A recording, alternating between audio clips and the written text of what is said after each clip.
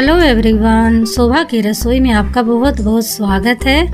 आज हम बनाएँगे बहुत ही टेस्टी चटपटा इवनिंग टी टाइम स्नैक्स जो कि चाय के साथ बहुत ही अच्छे लगते हैं। और ये फटाफट से बनने वाली रेसिपी है, जो कि हमने इसे चूरचूर पापड़ का नाम दिया है। और ये बहुत ही जल्दी से बनने वाली रेसिपी है, आप यकीन मानिए। घर में सभी को पसंद आने वाली है। तो इस रेसिपी को हमने किस तरह से बनाया है, हमें किन किन चीज़ों की ज़रूरत है तो चलिए वीडियो को देख लेते हैं। पापड़ चूरचूर बनाने के लिए सबसे पहले हम लेंगे तीन से चार पापड़। और अब हमने गैस ऑन करके कढ़ाई चढ़ाया है और कढ़ाई में हमने डाला है कुकिंग ऑयल तो सबसे पहले हम पापड़ को फ्राई कर लेंगे।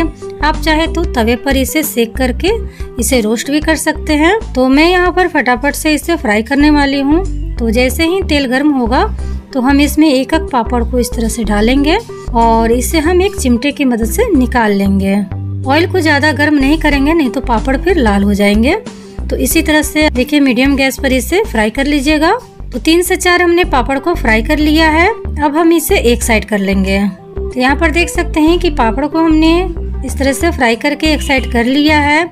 अब हम लेंगे एक बड़ा सा बाउल और सबसे पहले हम क्या करेंगे कि इसमें एक कटोरी बारीक कटा हुआ प्याज डालेंगे। पहले हम पापड़ का इस्तेमाल नहीं करेंगे क्योंकि पापड़ बहुत ही जल्दी से सॉफ्ट हो जाते हैं।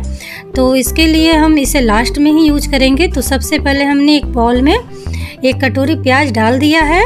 इसके बाद इसमें हम टमाटर ऐड करेंगे। तो दो टमाटर थे पके हुए, जिसको कि हमने इस तरह से छोटे छोटे पीसेस में कट कर लिया है।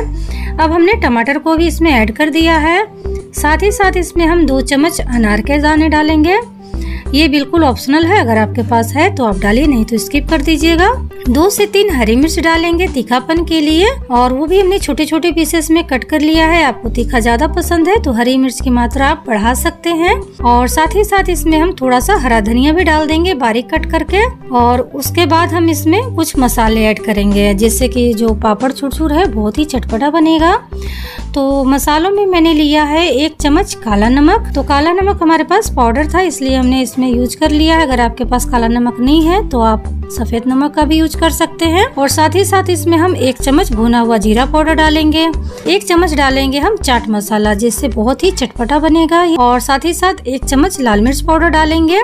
काली मिर्च पाउडर डालेंगे हम एक चम्मच। अब हम सारे मसाले को और सब्जियों को अच्छे से मिक्स कर लेंगे। तो इस तरह से स्पून की हेल्प से हम सारी चीज़ों को अच्छे से मिक्स कर लेंगे। तो ये देखिए, हमने सारी चीज़ों को अच्छे से मिक्स कर लिया है। अब इसमें हम पापड़ डालेंगे, वो भी हम हाथों से इस तरह से तोड़ के डालेंगे, ताकि जो सारे चीज़ जो पापड़ है, वो मसाले में अच्छे से एब्जॉर्ब हो जाए। तो यहाँ पर देख सकते हैं कि सारे पापड़ को हमने हाथों से इस तरह से चुर चुर करके डाल दिया है और उसके बाद हम इसमें नींबू का रस डालेंगे। हम शुरुआत में नींबू का रस नहीं डालेंगे, नहीं तो पापड़ है वो सॉफ्ट हो जाएँगे। तो हमने नींबू का रस इसमें डाल दिया है और उसके बाद इसमें हम थोड़ा सा सेव डालेंगे। आपके पास जो भी सेव, मिक्सचर या कुछ भी है, वो आप इसमें यूज़ कर सकते हैं। अब हमने सारी चीज़ों को अच्छे से मिक्स कर लिया है। सारी चीज़ें मिक्स होने के बाद इसे एक बॉल में ट्रांसफ़र करेंगे। आपको जैसे भी, जो भी बॉल है, उसमें आप इसे सर्व कर सकते हैं। और सभी लोग को घर में दीजिए, बहुत ही पसंद आने वाली रेसिपी है। आप इसे इवनिंग टी टाइम स्नैक्स के रूप में ले सकते हैं मॉर्निंग ब्रेकफास्ट में भी ले सकते हैं।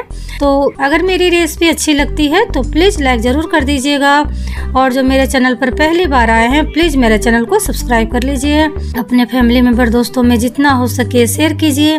बेल आइकन का घंटी प्रेस कर दीजिएगा, ताकि आने वाली मेरे न्यू वीडियो की नोटिफिकेशन आपको मिलती रहे। तो मिलते हैं अगले वीडियो में नई रेसिपी के साथ। तब तक के लिए बाय बाय